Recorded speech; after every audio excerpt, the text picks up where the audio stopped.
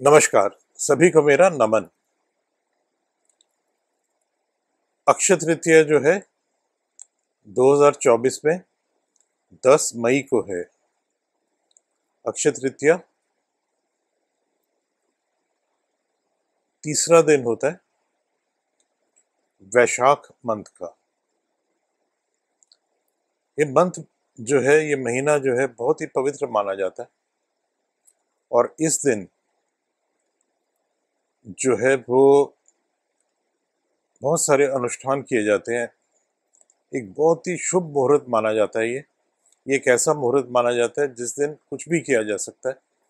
बिना कोई मुहूर्त देखे, बिना किसी उसके आप जो है इस दिन कोई भी ऐसा काम कर सकते हैं जो, जिसको हम पॉजिटिव काम बोलते हैं, जैसे मांगलिक कार्य बोलते हैं, जिनको विवाह है, घर की नींव रखनी है अपने कोई बड़ा काम शुरू करना है। तो अक्षय तृतीय का समय बहुत ही जो शुभ माना जाता है। इस दिन जो है, पहला हिस्सा जो दिन का है, वो दान पुण्य में व्यतीत किया जाता है। और दूसरा हिस्सा जो है, उसमें कुछ खरीदारी की जाती है। जो सुबह का पहला हिस्सा है, तकरीबन समझे 12 बजे तक, इसमें जो है दान पुण्य अनिवार्य है। क्योंकि हिंदू शास्त्रों में ऐसा माना जाता है कि जो व्यक्ति अपने हाथ से देता है, अपनी संपत्ति, अपनी चीज़, अपना जो वैल्यूबल है, जो दूसरे की सहायता के लिए देता है, उसको उसका जो कर्मों का फल है, वो कई जन्म तक मिलता रहता है। तो इस समय पे जो है, जो 12 बजे से पहले का समय है, आपको किसी ना किसी पॉजिटिव काम में अपना धन जो है वो लगाना चाहिए। आप कुछ ऐसे लोगों की हेल्प कर सकते हैं जो कि जेन्यनली सहायता चाहते हैं, जिनको सहायता की आवश्यकता है। सिर्फ़ दान के लिए दान नहीं, कोई ऐसी जगह पे दान जहाँ से वो दान जो है कुछ किसी को बड़ा लाभ दे, किसी को सपोर्ट करे। विद्या दान कर सकते हैं आप। आप जो है किसी व्यक्ति की एजुकेशन को स्पॉन्सर कर सकते हैं। उसकी हायर एजुकेशन को स्पॉन्सर कर सकते हैं। उसके जो है एजुकेशन के लिए अगर कुछ धन चाहिए तो वो दे सकते हैं। किसी स्कूल कॉलेज में जो है जाके डोनेशन दे सकते हैं कि ये जो व्यक्ति है जिसको कि पढ़ना चाहता है लेकिन धन के अभाव में नहीं पढ़ पा रहा, उसे सपोर्ट करने के लिए ये आप वजीफ़ा दें, ये स्कॉलरशिप दें, इस तरह का दान कर सकते हैं।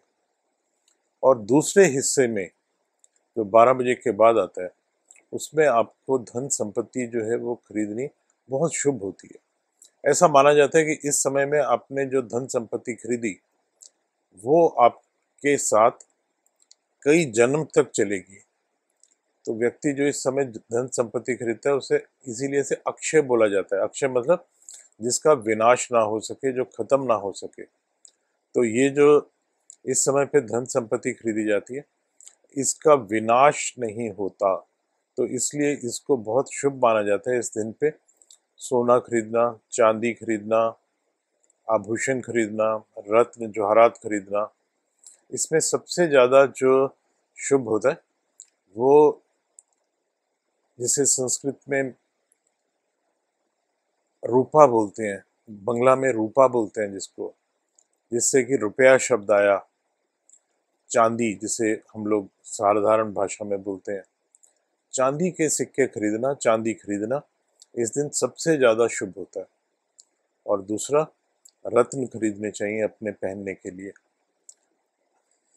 रत्नों का और चांदी का इस दिन जो है विशेष महत्व है। तो इन दोनों चीज़ों को खरीदे जाना चाहिए। और अगर धन का अभाव है तो सिर्फ़ जौ भी खरीद सकते हैं। और जौ को अपने थोड़ा सा मुट्ठी भर जौ लेके उसको अपनी पूजा में थाली में रख के उससे जो है लक्ष्मी जी का पूजन करें। उससे जो है लक्ष्मी तब भी आएँगी, आपसे प्रसन्न रहेंगी। इसलिए ये एक बहुत ही शुभ दिन है। इसको आप पूरे रीति रिवाज के अनुसार अच्छे से इसका जो है वो पालन करें तो ये आपको धन, संपत्ति, वैभव सभी कुछ देगा। ऐसा हमारा प्राचीन ग्रंथ जो है वो बताते हैं। तो प्रयास करिए ज़रूर आपको लाभ मिलेगा।